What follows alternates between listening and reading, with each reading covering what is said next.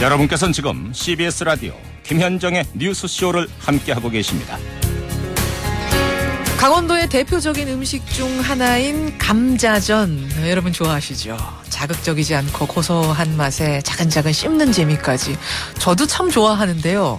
그런데 이 감자전을 감자전이 아니라 강원도 사투리 그대로 감제적 이라고 부르자 하는 캠페인이 지금 강릉에서 어, 일고 있답니다. 그냥 몇몇 사람이 재미로 하는 게 아니고요. 캠페인 협약식까지 할 정도로 열심히라는데 글쎄요. 감자전이면 어떻고 감제적이면 어떨까 싶은데 왜 굳이 감제적을 주장하는 건지 오늘 화제 인터뷰에서 직접 들어보죠.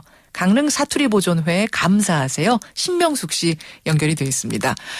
어, 심 선생님 안녕하세요. 아유, 안녕하시오야. 내가 신명숙이래요. 바로 그냥 사투리로 시작을 하시네요.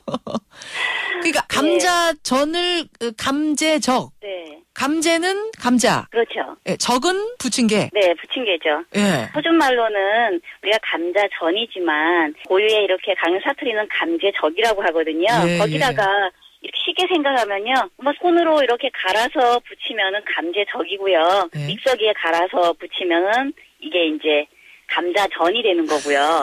그렇게 되는 건가? 소뚜껑에다가 만약에 엄마가 이렇게 묵은 김치 척척 썰어 놓고 거기다가 감자를 위에 올려 가지고 하면 감제적이 되는 거고요. 예. 예, 프라이팬에다 하면 감자전인 거고요. 근데 뭐 감자전이든 감제적이든 똑같은 감자전 얘기인데 굳이 캠페인까지 나서신 이유는 뭘까요? 글쎄, 우리 뭐든지 작은 것에서부터 우리 마을 강릉 사투리를 사랑하는 게 작은 데서부터 생겨난다 생각하고요. 또 외지에서 많은 분들이 오셨을 때 음. 예. 그냥 감자전보다는 감제적 한소댕이 얼마래요 할 때 훨씬 더 정감이 느껴질 것 같아서요. 아. 예. 저희 작은 것부터 실천한다는 생각으로 아. 캠페인을 하고 있습니다. 그, 아, 그거 언뜻 생각하면 경상도 가면 경상도 사투리 쓰고 전라도 가면 전라도 사투리 쓰듯이 강원도 가면 네. 다들 강원도 사투리 쓰니까 굳이 캠페인 필요 없을 것 같다 생각을 하는데 실제로는 좀 캠페인을 해야 될 만큼 많이 사라진 건가요? 네, 그렇죠. 요즘은 어. 모든 아이들 교육이 다 표준말 위주로 되어 있다 보니까요. 예, 예. 예, 나이 드신 분들 한 60대 이상 되시는 분들은 그냥 언어가 다 사투리를 그냥 같이 쓰시고 계시지만요. 음. 50대만 되셔도 알아듣더라도 쓰시는 단어는 한정돼 있고 아. 또한 40대만 돼도 관심 있는 단어만 쓰고요. 30대만 되셔도 거의 사투리 안 쓰고요. 20대들은 그래요. 전혀 안 쓰고 10대들은 무슨 소린지를 모르죠. 이해도 못하고 강, 예. 강릉에서 태어나 강원도 태어나 사는데도 그럼요. 그- 모든 접하는 문화가 다 예. 표준말이니까요. 그렇게 아유 되면 너무 아쉬워요. 옷도 그다 탄지 몰라 요새. 당시 사투리를 안 쓴다니. 재밌어요. 매력이 있어요. 그러니까 강원도 사투리. 그런데 네. 이- 이렇게 매력이 있는 강원도 사투리인데 왜 10대, 20대들은 그 배우려고 안 할까요? 왜 안 쓸까요? 아 이제 이런 거죠. 제가 만약에 이렇게 안녕하세요 여러분 만나서 반갑습니다. 이럴 때는 그냥 편, 표준어니까 잘 모르겠지만 예. 아유 반갑잖소. 이런 것도 다 인연이야. 어떻게 이래 줬어. 이렇게 얘기하면 예. 뭔가 이렇게 매력 있거나 수준 있어 보이진 않잖아요.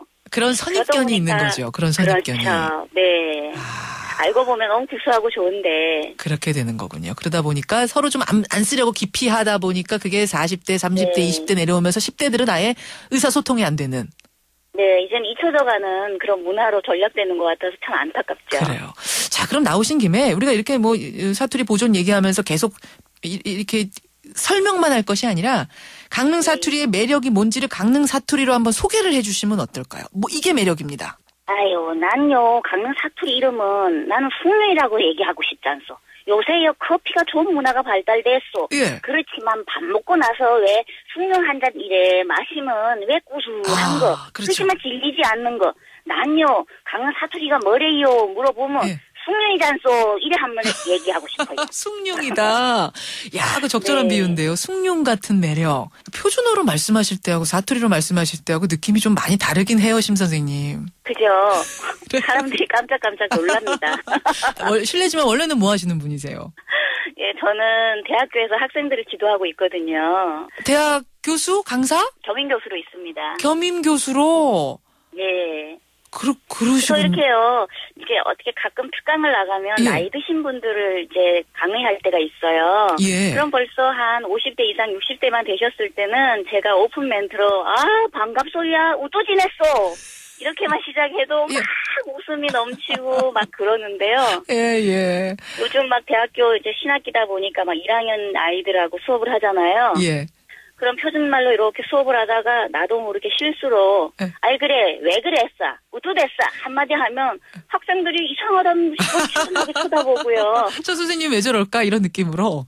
그렇죠 무슨 과 교수세요? 아 저는 디자인과 산업 디자인과 그것도 디자인과 교수?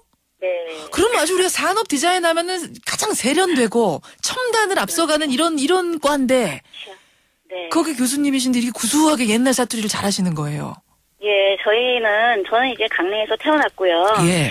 강릉에는 강릉 단오제가 있어요. 있죠. 물론 각 지방마다 있지만 우리 강릉 단오제는 천년의 역사를 잘 유지해 와서 이렇게 유네스코에 이렇게 등재가 된 그런 행사인데요. 예, 예. 거기서 제일 인기 있는 프로 중에 하나가 정 강릉 사투리 대회가 있어요. 사투리 쓰는 대회.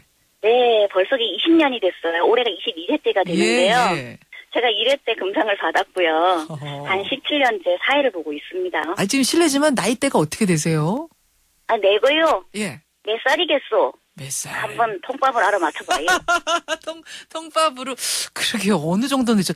뭐 50대 정도는 되셨으니까 사투리 이 정도 하시는. 에이, 그래 얘기하면 섭하지요, 뭐. 내가 올해 딱 아홉 수래요. 어떻게 돼? 마흔 아홉이잖소. 49 되셨어요. 내가요, 이래 사투리를 지그리면 사람들이 자꾸 오십 아홉이나 육십 아홉인 줄 알잖소. 그러니까. 근데요, 제가요, 마흔 아홉이에요. 그러시군요. 그러시군요. 어. 그런데 이렇게 사투리에 대한 사랑으로 예, 사투리 보존에 앞장서고 계세요. 변화가 좀 있습니까? 실제로? 아, 이제 가장 이 감자적, 이 감제적을 먹을 수 있는 시기도 이제 이제부터 핵감자가 나기 시작하니까요. 그렇죠. 이제 각 가게에 감제적이라는 저희가 이제 스티커도 만들어서 배포하려고 그러고요. 음. 또 저희가 어 이렇게 명절 때 예를 들어서 뭐 구정 때라던가 추석 같은 데도요. 저희가 작은 작은 울림이지만 예. 저희가 이렇게 어 고향을 오느라고 참 수고하셨습니다. 이런 내용들을 예, 예. 강릉 사투리로 어. 아유 고향길 오느라고 폭 쏘갔어야 이렇게도 많이 붙이고요. 폭 쏘갔어요. 이게 어디 어디 속았다는 게 아니군요. 너무 수고했어요. 수고했다. 고생하고 오셨어요. 재밌어요. 재밌어요. 그런 캠페인도 열고. 네, 그러다 보니까 이 강릉에서는 우리말 이제 강릉말, 강릉 사투리가 많이 이제 어, 귀에 익숙해지려고 하고 있죠. 사실 저같이 이렇게 서울말밖에 못 쓰는 네네. 사람들은 선생님처럼 정감 있는 사투리 쓰는 분들 보면은 한번 배워보고 싶다 이런 생각도 들거든요. 요 노력하면은 원어민처럼 할 수는 있는 겁니까? 어, 세상에 노력해서 안 되는 게 뭐가 있겠습니까? 그런데 예. 이제 다른 건 다 할 수 있는데요. 그 이렇게 독특한 여기만의 억양은 예. 예, 강릉 사람처럼 여기 출신처럼 하기엔 좀 어려울 것 같아요. 아, 그 흉내 안 돼요, 안 돼요, 아무리 해도. 예, 예를 들어서 예. 아유 반갑소야 한번 해보세요. 아유, 반갑소야. 비슷하잖아요. 비슷하네. 아유 또 지냈어. 옷, 옷 주시냈어. 재밌어요. 예, 재밌어요. 따라 하실 수 있는데 그 고유의 어떤 독특한 느낌은 그렇죠. 거기 그렇죠. 흉내내기가 조금 어려운 것 같아요. 강릉에서 나고 자란 분들이 결국은 그 지역 언어를 지켜주셔야 되는 거고 전라도 분들이 전라도 말 지켜주셔야 되고 경상도 분들이 네. 경상도 말을 지켜주셔야 된다는 얘기입니다. 결국은 그렇죠. 네. 끝인사는 어떻게 해야 되지? 그러면은 오늘 만나서 반가웠어 수야 이래야 되는 건가요? 예, 아유 오늘 폭 쏘갔소야. 예. 저 심 선생님 네. 오늘 하여튼 폭 소가수야 아유 김현정 아나운서도 폭 쏘갔소야. 고생 많이 하셨습니다. 고맙습니다. 예. 예, 아 재밌네요. 강원도 사투리를 지키는 분, 강릉 사투리 보존회 시- 감사하세요. 신명숙 씨 만났습니다.